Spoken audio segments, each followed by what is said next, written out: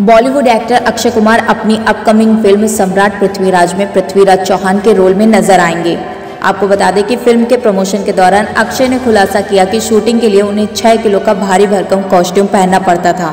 साथ ही एक्टर ने बताया कि उनके कॉस्ट्यूम भले ही इतने भारी थे, लेकिन इतिहास में रियल वॉरियर्स इससे भी ज़्यादा भारी कपड़े पहना करते थे।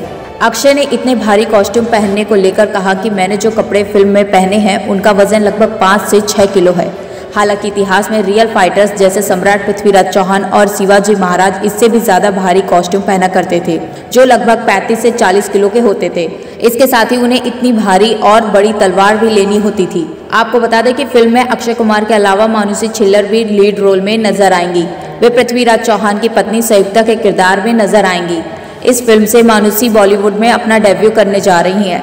आपको बता दें कि सम्राट पृथ्वीराज 3 जून को रिलीज़ होगी। Bureau report IPN